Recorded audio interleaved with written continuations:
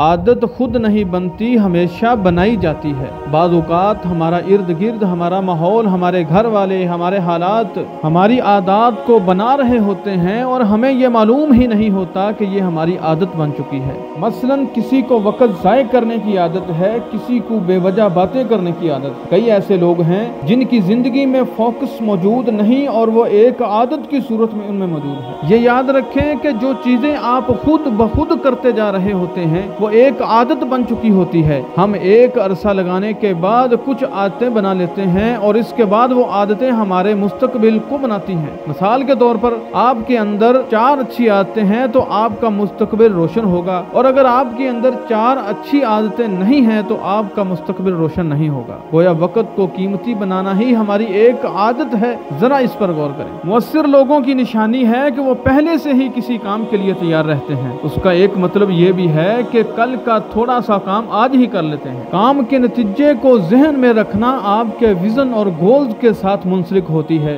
अगर आपकी ज़िंदगी में मकसद और टारगेट मौजूद नहीं है तो आप ये आदत नहीं अपना सकते। मुसर लोगों को पता होता है कि ज़िंदगी में अहम क्या है। बेशुमार सरगर्मियाँ पहले करने वाली नहीं होती। अगर उनको पहले कर लिया जाए तो जो चीज़ें पहले आई थी, उनका हक चला जाएगा। ये काम तब मुमकिन है कि जब आप अपने अंदर ध्यान देते हैं कि आपकी तरजीहत क्या है। दूसरों को शिकस्त देकर बंदा कभी नहीं जीत सकता। असल जीत वो है कि आपके मुकाबल को भी आपके फ़ायदे के साथ फ़ायदा मिले। ऐसी सूरत में लोग जुड़े रहते हैं और काम चलते रहते हैं। किसी कौम की हालत बदलने से पहले उस कौम में इनफरादियत और इजतमाहीत दोनों को समझना पड़ता है। लोगों की नेचर मज़ाक नफ्सियात, आदतों को जांचना बहुत ज़रूरी है। दुनिया में सबसे बड़ा काम इंसानों के दरमियान रबत है। और ये इसी सूरत मुमकिन है कि जब आपके अंदर दूसरों को समझने की सलाहियत मौजूद हो। इंसान का अकेले तरक्की करना मुश्किल चीज़ है। तरक्की हमेशा एक टीम की शक्ल में होती है। जो शख्स ज़िंदगी में टीम बना लेता है तो उसका मतलब है कि उसके अंदर बहुत बड़ी सलाहियत मौजूद है। ऐसी सूरत में आप लीडर बन जाते हैं और काम को अगले दर्जे में लेकर चलते हैं। अगर आप रोज़ाना की बुनियाद पर डेवलपमेंट नहीं करते